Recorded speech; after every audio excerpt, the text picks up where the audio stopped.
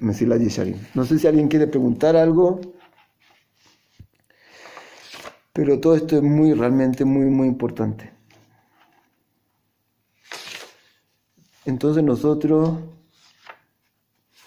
dice así, ahora estamos acá. ¿Qué hemos estudiado en la Hasidut entonces? En la Hasidut ya estamos en... Dijimos que la, la Hasidut depende de tres cosas. Hacer la acción lo más perfecto, lo más perfecto posible. Segundo, cómo se hace la acción, que es con tus sentimientos, con amor y temor a Dios, como vimos y terminamos la semana pasada. Y hay una tercera cosa que es muy importante, la intención que tienes que tener cuando tú hagas esta acción. Y acá hay algo maravilloso en verdad. El Hasid es algo maravilloso. Él actúa en la forma más perfecta. Con el sentimiento, ya su corazón está puro y con el sentimiento más perfecto de amor y temor a Dios. Y ahora también con la mente, con el entendimiento, con el, con, el objetivo eh, más perfecto que Dios quiere de nosotros. O sea, este hombre, oh, un segundo, este hombre llegó a hacer un cambio en sí increíble, en su acción, en su sentimiento y en su pensamiento. Llegó a un nivel increíble. Y ahora vamos a ver la tercera parte, que es la intención en sus acciones. Cuando hace cualquier mitzvah, cuando tiene que darle, ayudar a un pobre o a una persona, a un amigo, a cualquier cosa, él está pensando, el Hasid, en cómo hacer esta acción lo más perfecta posible, con amor y temor a Dios, y cuál es el objetivo de todo esto al final, para qué lo hago todo esto. Y este hombre va a poder en su acción, con tanta perfección, con tanta grandeza, él llegó a un nivel realmente que sus acciones influyen en el mundo tremendamente. Una cosa maravillosa que explica el Raman que tiene que ver con lo que estudiamos antes. Cuanto el hombre tiene más creencia en Dios está más seguro de la providencia divina, la providencia divina sobre él es mucho más revelada que sobre los demás. Es algo increíble. Cuanto más cree en Dios, la cercanía con Dios es más grande. Este hombre puede rezar y pasa maravilla lo que nosotros podemos estar gritando día y noche, porque nosotros estamos, podemos estar tan lejos de Dios que entonces la providencia divina sobre nosotros es muy oculta. Pero cuando uno va logrando ver, ver, ver más y acercarse más, pegarse más a Dios, la providencia divina sobre él es mucho más fuerte. Entonces este, el Hasid realmente son los niveles de realización personal lo más grande que tú podrías decir que esto es realización, realización personal, ¿cuántos millones tiene en el banco? ¿No? La realización personal es lo que Dios dijo que es la realización personal, porque Él que nos creó, Él sabe realmente dónde realmente nos realizamos como persona, dónde nos elevamos como persona, cuál es el objetivo del hombre, y eso es el Hasid. Entonces ahora vamos a estudiar entonces el tercer, la tercera parte de la Hasidut, que es el pensamiento. Dice así, no sé si alguien quiere preguntar algo, si no, entonces seguimos. Anaf Ashlishi. Entonces, la tercera ramificación, la tercera parte, ah, perdón, estamos acá.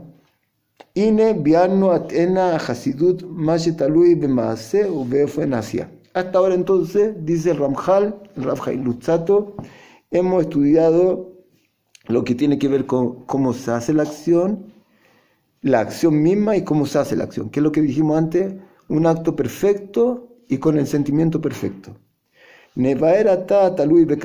Ahora vamos a hablar lo que se llama kavaná. Kavaná es tu intención.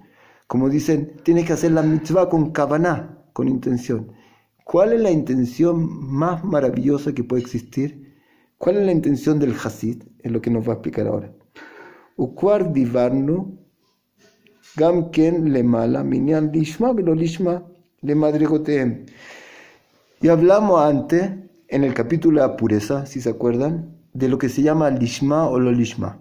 ¿Qué significa lishma o lo lishma? Que tú haces esto, esta acción más pura o con algún tipo de interés. O sea, por ejemplo, no sé si te acuerdan, dieron un ejemplo, Ramjal dio un ejemplo ahí muy lindo, que veo una señorita, una mujer, que estaba caminando muy, muy recatada. Muy, muy recatada. Y vinieron dos sabios y la vieron. Dijeron, qué lindo los pasos de esta mujer. Cómo ella es recatada, qué lindo. Y cuando ella escuchó eso, lo hizo más. Lo hizo más pronunciado. Este recato lo hizo mejor todavía. Uno podría decir, qué fantástico, lo hizo, mejoró. No. dijeron ahí, el Ramjal dice, no, echó a perder. Aunque en el nivel de ella está maravilloso, pero se considera que echó a perder. ¿Por qué? Porque el aumento que ella aumentó fue porque le llamaron, porque ella quería llamar un poco la atención. Quería que la alaben un poquito más entonces ya no es un acto puro. Ya no viene porque yo estoy haciendo la verdad, porque es la verdad. Yo, estoy haciendo este acto porque el deseo divino, que Él es la fuente de la sabiduría y de la verdad. Y yo lo hago porque esa es la verdad, porque Dios quiere que yo haga esto. Yo quiero servir a Dios, no quiero servir a nadie más. Pero, ¿qué va a salir de todo esto para mí? ¿Qué voy a ganar con todo esto? Olvídate. Todo el tiempo tú estás viviendo con un interés personal. ¿Qué voy a ganar con todo esto? ¿Me conviene hacer esto? ¿No me conviene? Tú eres el centro de todo siempre. Olvídate. En estos niveles el centro de todo es Dios, no tú. Él es el creador. Él el que te dio la vida, la sabiduría, tu cuerpo, tu vista, todo. Tu alma, todo. Tú no hiciste nada acá. Déjate de hacer tú el centro de todo. Entonces, este hombre que actúa de esta forma con pureza, esa es la pureza, que él hace esto porque Dios le dijo. ¿Y qué gana? No me importa qué gano yo, yo sé que al final voy a ganar mucho porque Dios nos quiere dar el, infinito. Pero ahora, en este momento, no estoy pensando en eso. En este momento estoy pensando en hacer el bien porque es el bien. Es hacer esto porque esta es la verdad, es la verdad, lo que yo quiero elegir, el bien verdadero el deseo de Dios, no por una cosa personal. Esa es la pureza, es un nivel realmente espiritual porque es contra nuestra naturaleza. Nuestra naturaleza todo el tiempo estamos pensando si me conviene o no me conviene. Como, como este señor que hablamos en Shabbat me dijo, mucha gente dice, puede pensar que hay Dios, pero puede decir, ¿y qué gano con todo esto? ¿Y qué va a salir si voy a ser religioso? Todo el tiempo uno está pensando no en el bien verdadero o en la verdad verdadera, qué es lo que tengo que hacer. Está pensando todo el tiempo en sí mismo, ¿qué voy a ganar con todo esto? Yo soy el centro de todo. Si me conviene lo hago, si no, no lo hago. Pero este Hasid ya salió de todo esto. Es una maravilla. Y eso es increíble. Ir por los caminos de Dios es algo así. Porque todo lo que Dios hace es el bien absoluto sin buscar a una conveniencia personal. Él hace por nosotros, realmente, el bien por nosotros, no necesita toda esta creación. La hizo para un bien absoluto con nosotros. Otras criaturas que reciban el bien verdadero. Entonces, ¿qué dice acá el Rab? Dice así, Omnam Badai. Entonces hablamos de Lishma o no Lishma. ¿Qué significa Lishma o no Lishma? ¿Cuál es el nivel tuyo, el nivel tuyo de pureza? ¿Cuánto has logrado limpiar tus acciones sin desear algo que te conviene, sino esto es lo que se debe hacer, lo hago y gano o no gano, no importa, no, no, es el problema, es lo que hay que hacer, lo hago. Hay que amar al prójimo, pero a mí me molesta, me desagrada, ¿qué importa? ¿Quién te está preguntando? ¿Es la voluntad de Dios el bien verdadero? Ama al prójimo. Es un nivel alto, alto, alto, es Hasidim. Pero dice así,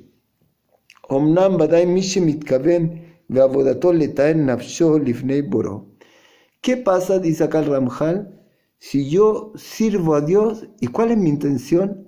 Mi intención es purificarme. Yo sé que la Torah te purifica, te sana, te lleva al bien y ser una persona querida por Dios. Muy bien, fantástico o que la yesharim o para llegar al nivel, yo hago esta, este servicio de Dios con mucha pureza. ¿Para qué? Para lograr ser un Hasid.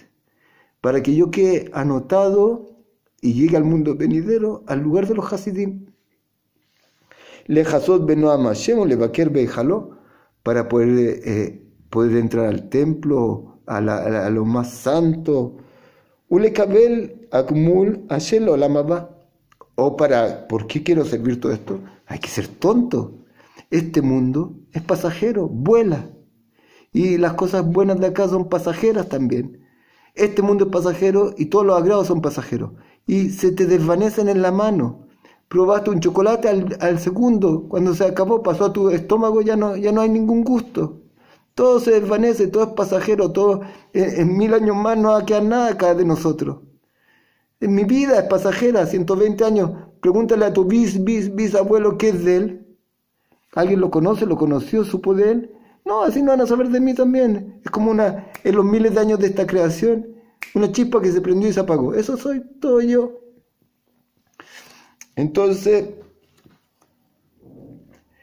eh, y ahora, si yo hago todo esto, voy a ganar un mundo venidero, eterno. Mi alma va a quedar para siempre, en el agrado máximo. Seguro que hay, que, una locura perder este regalo que Dios te está dando.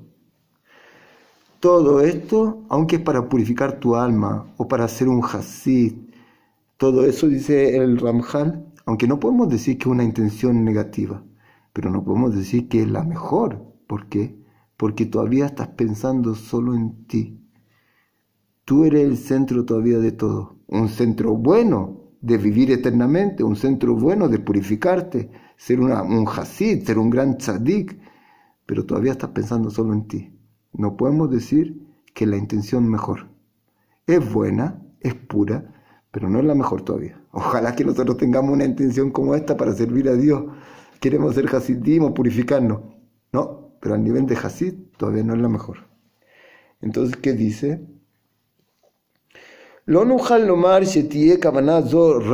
No podemos decir que esta intención es negativa está sirviendo a Dios está buscando el, bien que Dios le quiere dar. Pero por otro lado, no podemos decir también que esta intención tuya, este deseo, este objetivo tuyo, es la mejor que hay también.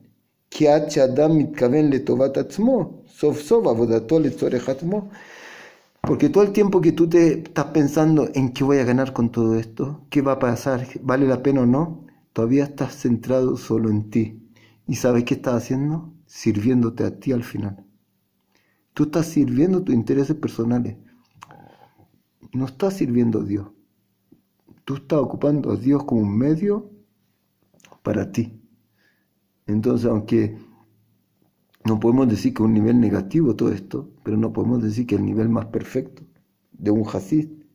Aja kavaná. ¿Y cuál es la intención verdadera? Dice Ramjan. Ametsuyaba hasidim. Que es la, la, intención de los hasidim verdaderos. Asher tarhubish siga. Que ellos se esforzaron y, y realmente se esforzaron, trabajaron para poder alcanzarla. Adam Oved Rak Lemanasher el Adon Baruchu Igdal Virve. ¿Cuál es la intención del Hasid? Solo todo lo que yo hago para aumentar el honor y la grandeza divina. Que crezca.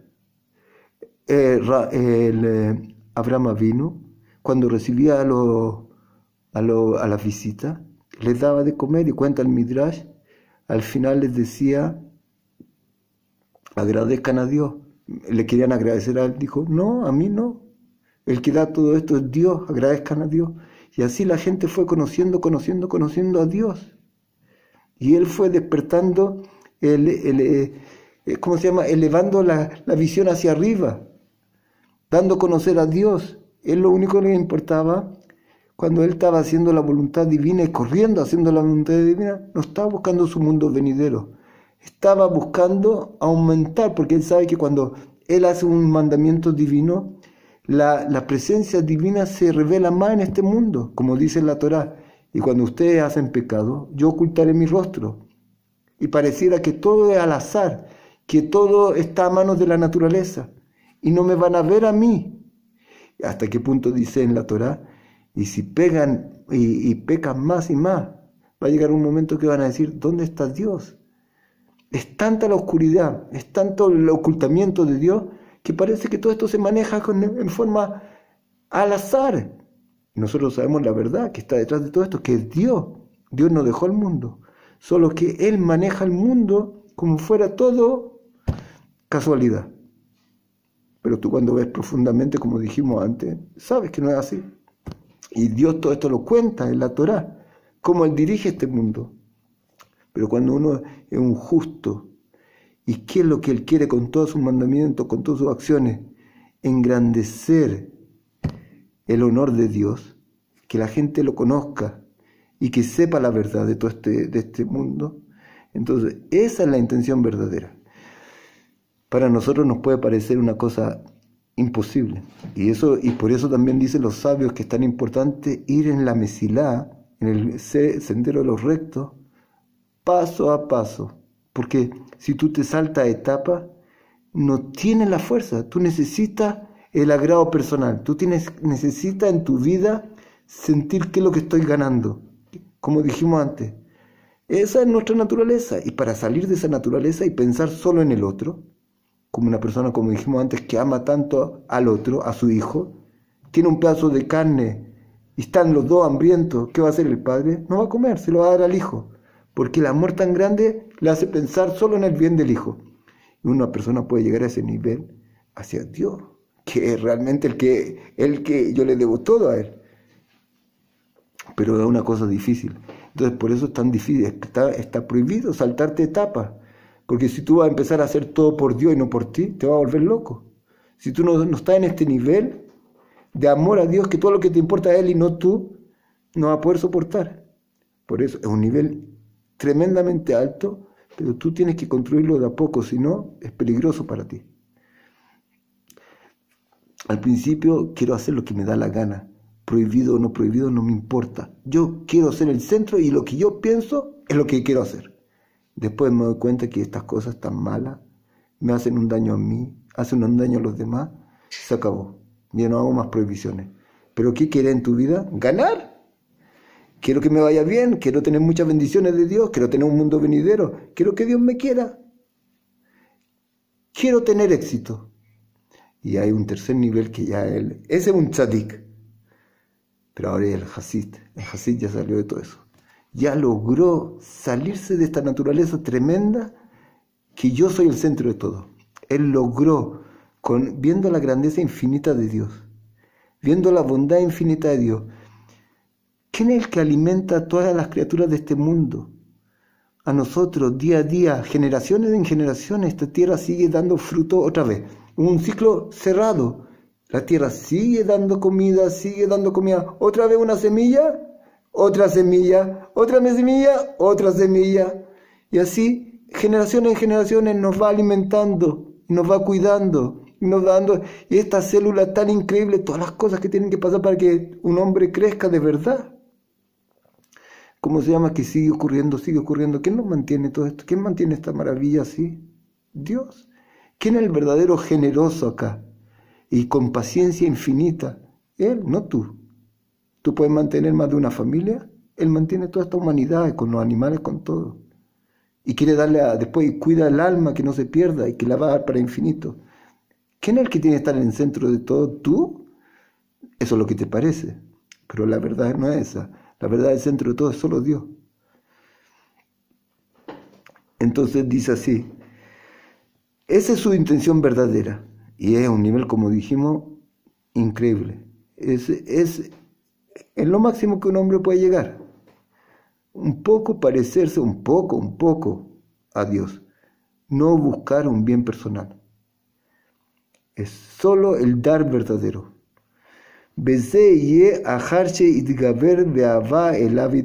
Pero para esto va a llegar solo después de que lograste eh, desarrollar un amor muy profundo hacia Dios.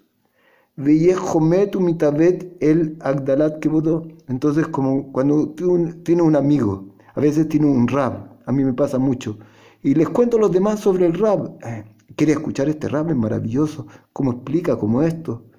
Entonces tú, cuando ves una persona que tiene mucho valor, quieres que todos lo conozcan. En verdad dicen, ese era el amor de Dios, de Abraham vino hacia Dios, que él buscaba darlo a conocer por todos lados. Entonces, ¿qué es lo que busca este Hasid? Él tiene un deseo tremendo de aumentar su honor, al kol y le duele mucho cuando el honor de Dios baja.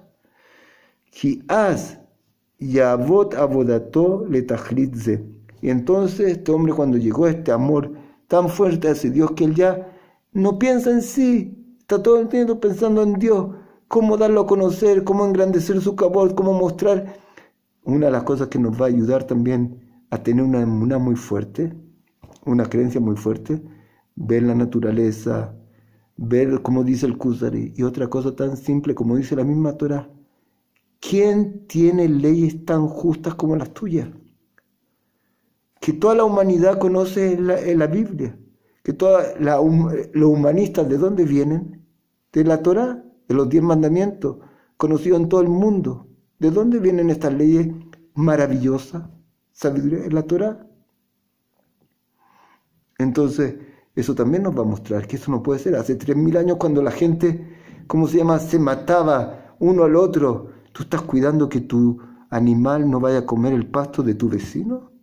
Y si es que lo comió, ¿cómo se paga? ¿Cómo se devuelve? ¿A quién se le ocurrió en ese tiempo? Entonces, la Torah también te muestra que esto es, no, es de este mundo.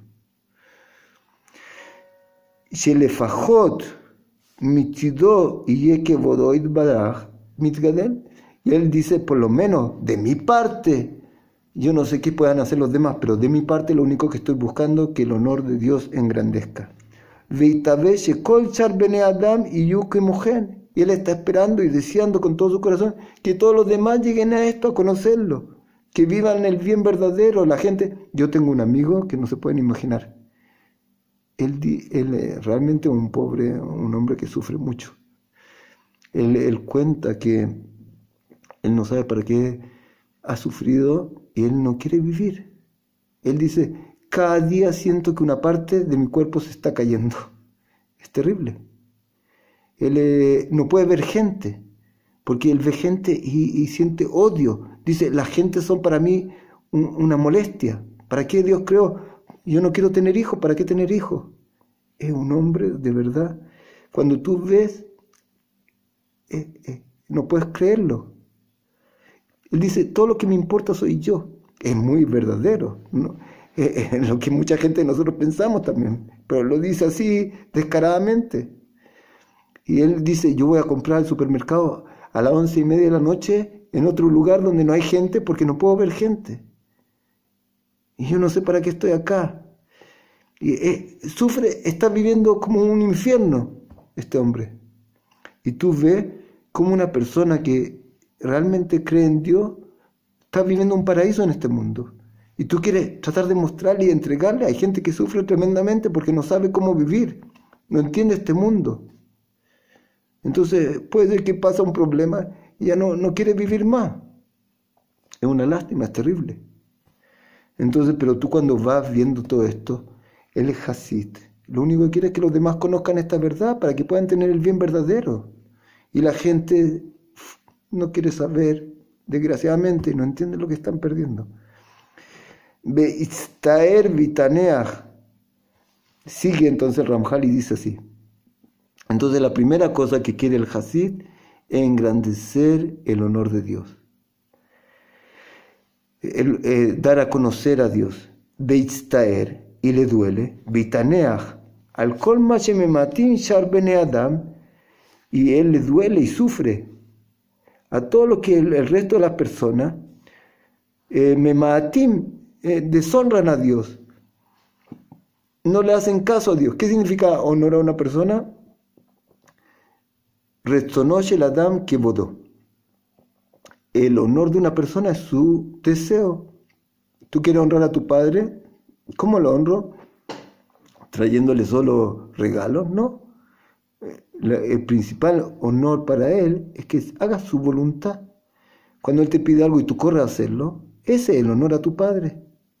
¿Cómo yo puedo dar honor a Dios? Cuando Él quiere algo, yo corro a hacerlo. Entonces, ¿y la gente cuando Dios dice algo y tú haces lo contrario? Y Dios con paciencia y paciencia y paciencia espera, espera, espera y la gente sigue haciendo lo contrario y no le importa nada. Entonces a este Hasid le duele. Aparte que sabe que los que están perdiendo al final, los que se están alejando de Dios, se están alejando de la vida. Y después de repente llegan problemas, llegan problemas, llegan problemas, y ellos dicen, ¿dónde está Dios? ya fe, hasta ahora lo dejaste por completo y ahora te queja. Shalom. Entonces ahora te queja, ahora preguntan dónde está Dios. ¿Ahora se te ocurrió? Tú te estás metiendo en el infierno solo y después estás llorando. En verdad que es algo terrible. Eh, entonces, Bekol Sheken u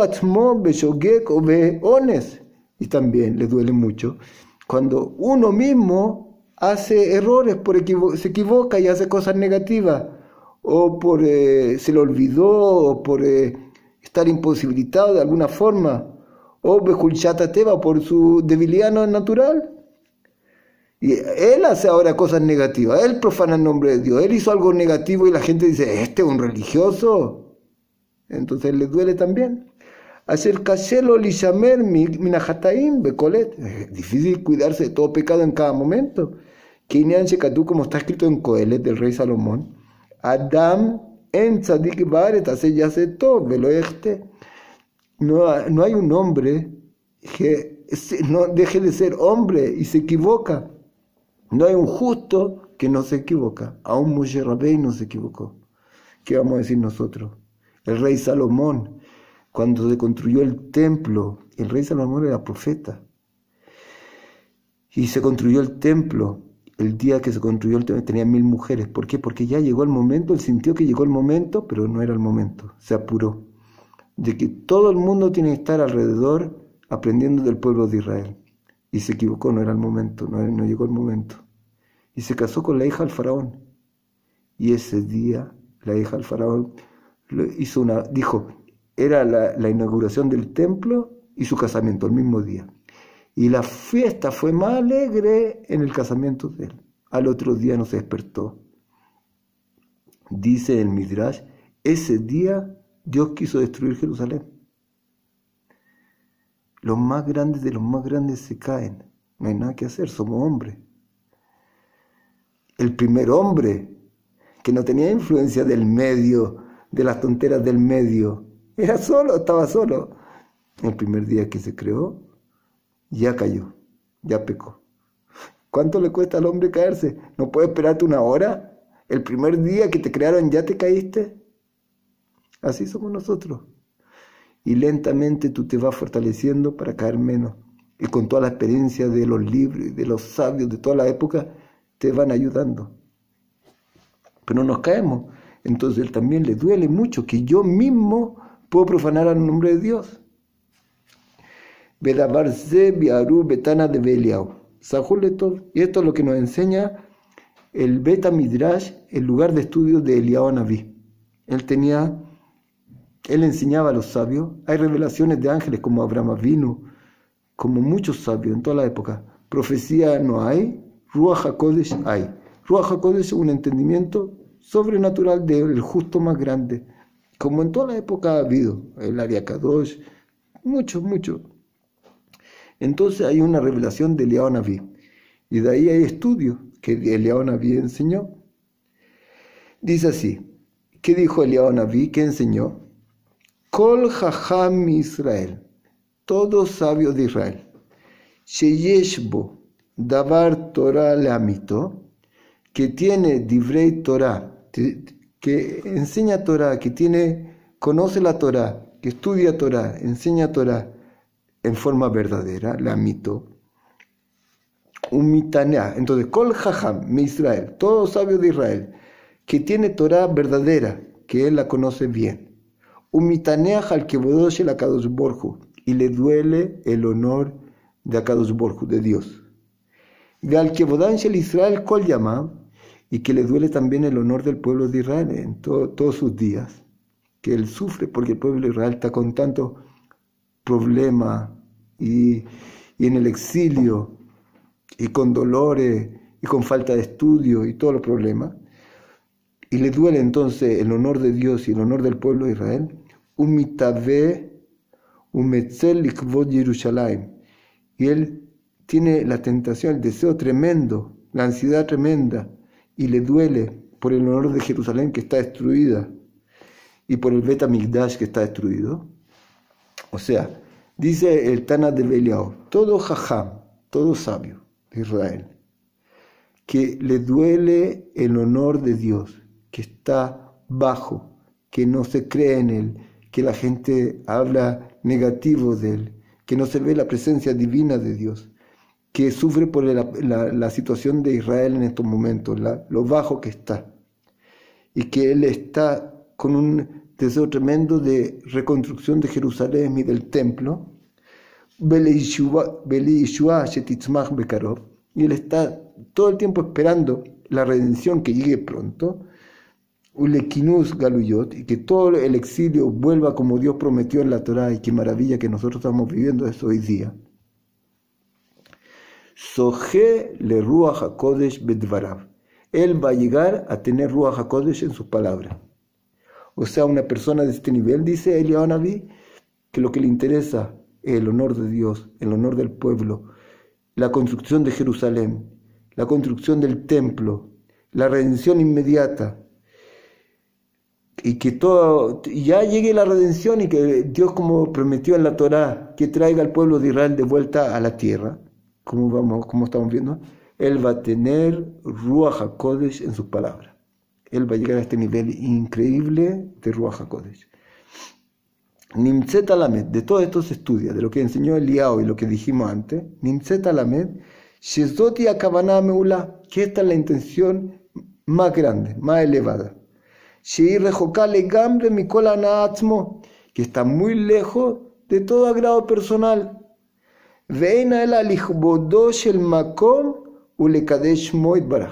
Y su intención verdadera es enaltecer, engrandecer el honor de Dios eh, y santificar su nombre.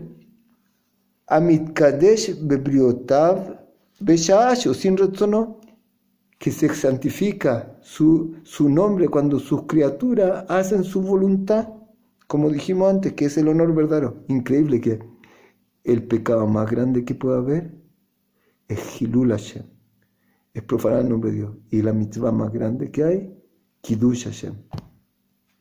Y eso es lo que le interesa al Hasid. Y esto es lo que está escrito en el Zohar, Akadosh, de Kabbalah. un Hasid, ¿quién es el Hasid? Y el Zohar explica, Amit Hasedin Kono. Increíble. Uno puede ser Hasid. Tú eres un Hasid. ¿Qué haces tú? Ayuda a las personas sin interés. Ayuda por ayudar no quiere recibir nada y él te quiere pagar, te quiere agradecer. No, no, no, no, nada, nada, nada, nada. Hace el bien por el bien.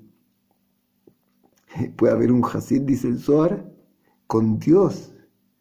Él es un Hasid con Dios. ¿Qué está buscando?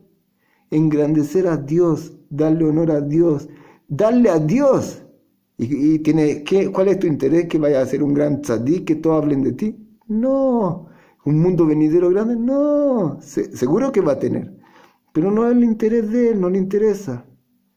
Él busca el bien por el bien.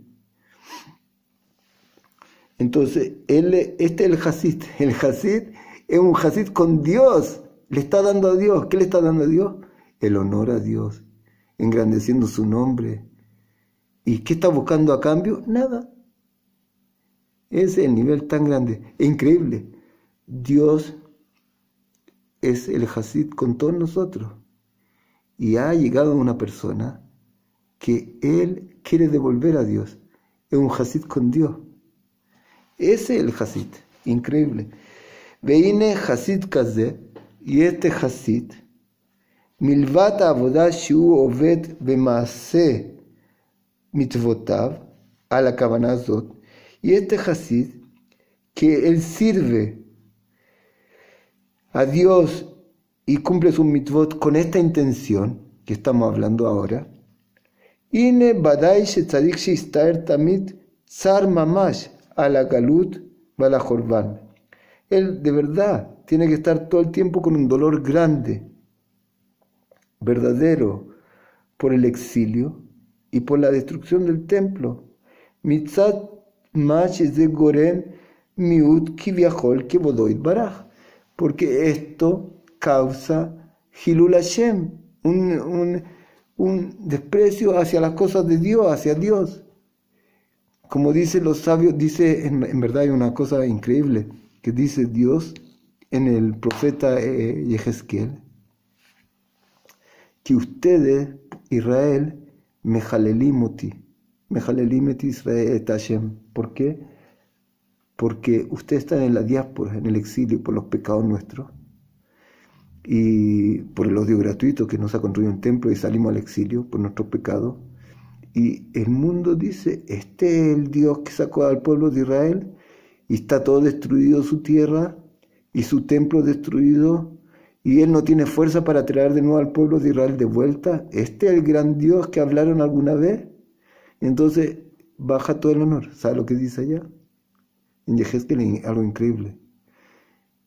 Israel, al final, si ustedes no van a ser meritores, yo lo voy a traer de vuelta para santificar mi nombre entre todos los pueblos y lo voy a traer de vuelta como prometí. Increíble. Puede ser que a veces nosotros no somos meritorios y Dios va a traer la redención porque Él la prometió a nuestro patriarca. Porque así lo dijo. Tal vez a veces es increíble este pueblo que debería sentirse el pueblo que Dios escogió para dar su Torah. ¿Cuántos errores hemos hecho? Pero igual es su hijo, como dijo, como él lo nombra, Banim Atem, como dijo Moshe al faraón. Y la relación de Banim no se puede cortar. No es un amigo que te portaste mal, no te quiero ver más. Este es el hijo. Y Dios nos dijo que al final, en la Torah dice, y al final de los tiempos van a ser chuvá, todos. Yo los voy a traer de vuelta. Y en Yehezkel dice, y aunque se demore, aunque tal vez no son ahora, todavía no lo hicieron, yo lo voy a traer para purificar y para santificar mi nombre, para cumplir mi promesa. Pero increíble, ojalá que nosotros seamos lo más meritorios posible, que nos ganemos todo esto, que no sea así. Pero este pueblo, esa también es una maravilla que muestra la verdad de todo esto. Si tú quieres contar un cuento de que Dios te dio la Torah y todo, tiene que contar que somos los más justos de todos los justos. Y toda esa generación en el desierto, por no querer entrar a la tierra de Israel, murieron, 40 años tuvieron que dar vuelta ahí y solo entraron a la tierra Israel los hijos. si yo quiero mentir y contar cuentos, es lo último que contaría. Qué vergüenza. Entonces, esto es lo que dice acá. ¿Qué dice el Hasid en verdad? Entonces a él le duele de verdad esto de que, ¿cómo se llama? Eh, por el exilio y por la destrucción del templo, porque en verdad nosotros estamos ensuciando el nombre de Dios. Y Dios eh, dijo la Torah, gracias a Dios, que al final va, ¿sabe qué dice el Rav Kuk? ¿Por qué es tan importante este libro, Mesilat Yisharim, en este tiempo? Porque él habla cómo llegar a los niveles más altos de Kedusha. Y dice Rav ¿cómo el pueblo va a ser chufada al final? Cuando vea gente de un nivel espiritual muy, muy alto, el pueblo, el resto del pueblo va a volver a la verdad. Y una de las cosas que molestan hoy día, que no se ve gente de un nivel espiritual tan alto. Porque como dijimos al principio, nosotros podemos hablar, dar charla entera sobre Muna. Pero el nivel de Muna que tenemos muy, muy pequeño. Entonces, hablamos de la boca para afuera. No hemos hecho el trabajo, hay muchos que sí, pero no hemos hecho un trabajo fuerte interno. Es como el Rabba Viner una vez contó, había una pareja que querían hacer shalom, esposo y esposa. Entonces fueron a un eh, consejero matrimonial El consejero habló con los dos, después habló con la pura esposa, después con el esposo. Iban a la cita, el esposo, después empezaron a juntarse cada uno por separado y el esposo, contento, iba a, a, la, a, hablar con el consejero matrimonial. Hasta que un día el, el consejero matrimonial dijo, suficiente, ahora tenemos que empezar a trabajar. Y de ahí ya no volvió. yo no quiero hacer nada, yo quiero que me llegue todo gratis. Zeu, no funciona. Dice, como dijimos al principio, Jobot Alevavot dice, el que, quiere, el que no quiere tomarse el remedio amargo no se va a poder curar. Este remedio amargo es esforzarse, es trabajar. No hacer solo lo que tu naturaleza te dice, es hacer lo que Dios te dice. Tú estás escuchando desde niño, solo tu naturaleza. Lo que me gusta, lo acepto. Lo que no me gusta, no. ¿Quién te está preguntando? ¿Tú eres el Dios o hay otro Dios? ¿Quién es el que dice cuál es el camino verdadero? ¿Tú? ¿Tu corazón? ¿Tu Yetzerará? ¿O Dios? Elige. ¿Quién va a ser tu Dios al final? Entonces nosotros tenemos que saber esta verdad. Y si la vamos a saber bien, vamos a poder avanzar. Eh, y también mamás, como dijimos, que el exilio y la eh, destrucción del templo profanan el nombre de Dios.